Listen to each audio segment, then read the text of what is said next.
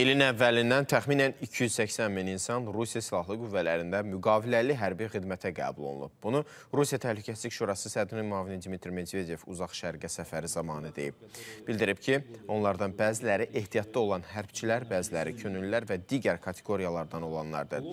O, çıxışında Yaponiyanın Ukraynaya yardım göstərməklə Rusiya ilə hərbi qarşıdurmaya cəlb olunduğunu da qeyd edib. помощь киевскому режиму